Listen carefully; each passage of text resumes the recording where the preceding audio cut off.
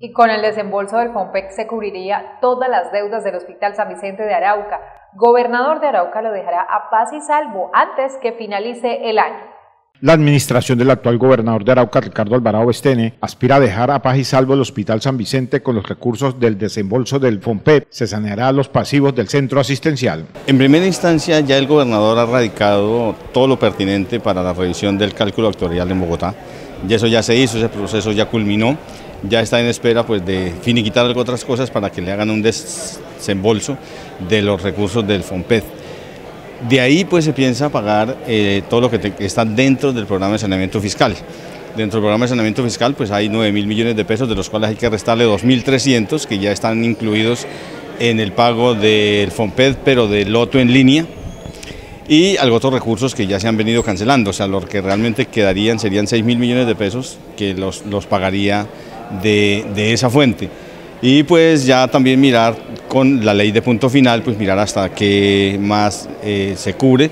Lo que sí él tiene en mente y lo ha dicho y ya lo sostuvo precisamente es que el, eh, su intención es dejar saneado el San Vicente. El secretario de Hacienda Departamental Manuel Calderón aseguró que se debe cumplir con dos etapas para sanear al hospital de Arauca. Son dos etapas. Primero porque acuérdese que hay un pasivo dentro del programa de saneamiento fiscal, pero hay un pasivo que está fuera del programa de saneamiento fiscal, que es el que se generó después de haber eh, suscrito dicho programa.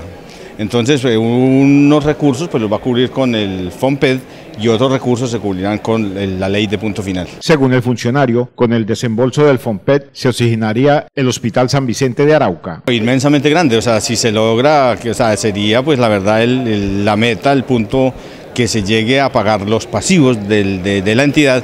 Eh, obligatoriamente debe autosostenerse y que además es autosostenible. Es claro que ya lo que dentro del programa de saneamiento fiscal fueron cancelados más de 13 mil millones de pesos de pasivos antiguos. Entonces, lo que quiere decir que, que el hospital debe ser autosostenible. El jefe de la cartera de Hacienda indicó que la meta del gobernador es que antes que finalice su periodo, dejar a paz y salvo el centro asistencial. Esa es la meta, esa es la meta del señor gobernador, dejar saneado el, el Hospital San Vicente y él se lo ha propuesto y créame que está trabajando incansablemente en ese proceso. Con el paz y salvo del Hospital San Vicente de Arauca, le quitaría un dolor de cabeza al nuevo gobernador del departamento de Arauca.